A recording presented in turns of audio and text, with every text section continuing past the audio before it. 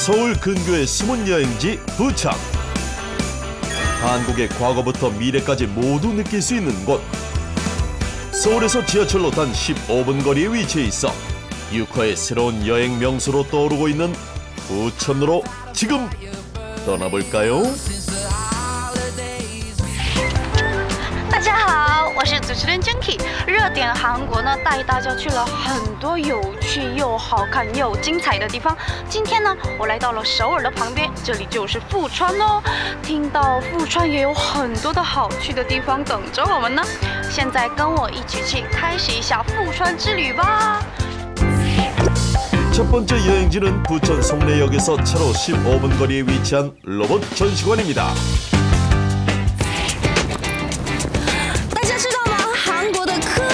术和 IT 技术是非常发达的。今天呢，跟大家一起去体验一下韩国科学技术的现场，跟我一起去看一下富山机器人公园吧，去见一下机器人朋友们吧，Go Go！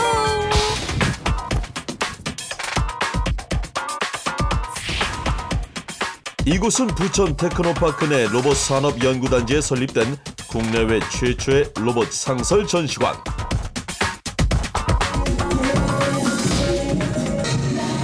자칫 어렵게 느껴질 수 있는 로봇 기술과 과학을 다양한 콘셉트의 로봇과 체험을 통해 재밌게 즐길 수 있도록 했는데요. 때문에 아이들은 물론 어른들에게도 인기가 높다고 합니다. 그중 사람들의 시선을 사로잡는 로봇이 있으니 바로 요 물고기 로봇. 做的好逼真呐、大家看一下它的关节，然后它游泳的样子也像真鱼一样哦。 저희 첨단 과학 기술의 로봇을 중심으로 어린 아이들에게 다양한 전시 안내와 프로그램이나 교육 등을 하고 있습니다. 방울들을 움직여서 퍼포먼스를 보여줄 예정입니다. 물이 생성이 돼서 사라지고 다시 만들어지는 과정을 담은 퍼포먼스입니다. 물의 생성과 비가 내리는 과정을 아름다운 퍼포먼스로 만든 전시는 보는 재미와 교육 효과까지 동시에 거기다 마치 영화 트랜스포머를 보는 듯 로봇에서 자동차로 변신하는 모습은 호기심을 자극하는데요.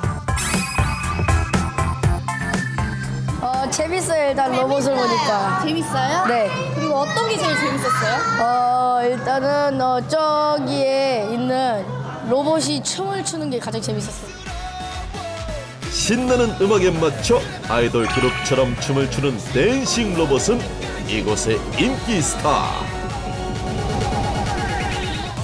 우리의 준키도 걸그룹 출신 아니랄까봐 댄스 삼매경에 빠졌습니다. 부천의 두 번째 여행지는 7호선 삼산체육관역에서 도보 4분 거리의 부천 한옥마을입니다. 刚才我们去体验了韩国的未来，现在呢，跟我一起去看一下以前的韩国是什么样子。走吧，가보실까요？Go go！ 부천 한옥마을은 한국의 전통 가옥인 한옥을 그대로 살린 곳으로 한국의 다양한 전통 문화와 전통 놀이를 체험할 수 있어 사람들의 발길이 끊이지 않는데요. 这个跳跳板游戏呢，以前是韩国的传统游戏，两个人一起上到木板上面，然后呢跳来跳去，是为了看到外面的风景哦。韩语叫 nerdi기，nerdi기，大家要记住哦。 아이들과 함께 널뛰기를 하니 어느새 똥심으로 돌아간 것 같죠?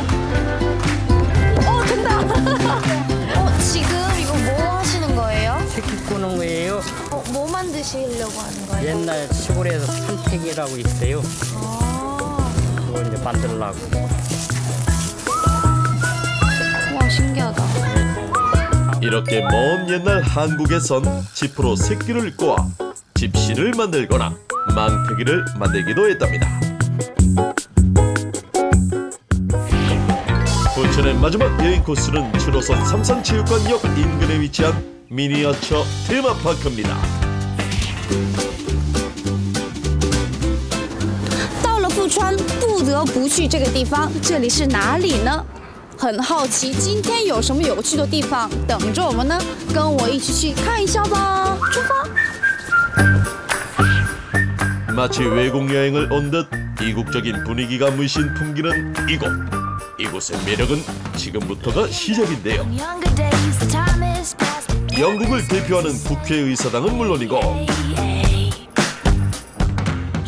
프랑스의 상징인 파리 에펠탑 등 세계 각국의 유명한 건축물들을 한눈에 볼 수 있어 마치 하루 만에 세계 여행을 하는 것 같은 기분이 듭니다.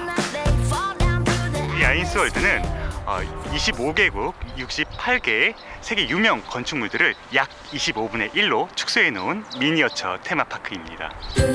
유네스코 세계문화유산과 세계 7대 불가사의에 속하는 전 세계 유명 건축물들이 유럽존, 미국존, 프랑스존 등 각 나라별로 전시돼 있어 흥미를 더해주는데요. 哇，好漂亮的一个大教堂哦！ 역시 여행에서 남는 건 사진밖에 없다는 말 아시죠? 기념 촬영은 필수인데요.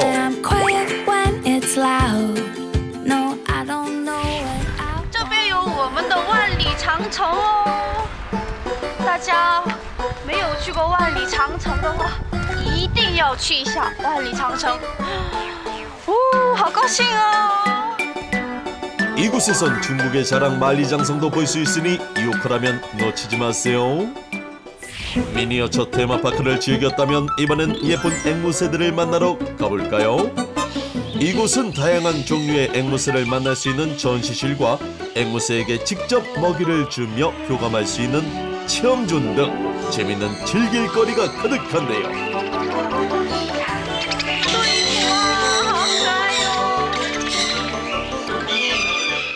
눈으로만 보는 것이 아닌 자연을 체험할 수 있어 아이들의 교육에도 도움이 된다고 합니다. 버들이. 버들아. 버들아, 오 잘했어요. 뽀뽀, 이쁜 언니한테 뽀뽀, 버들아. 어, 하쇼. 안녕하세요. 안녕하세요. 안녕.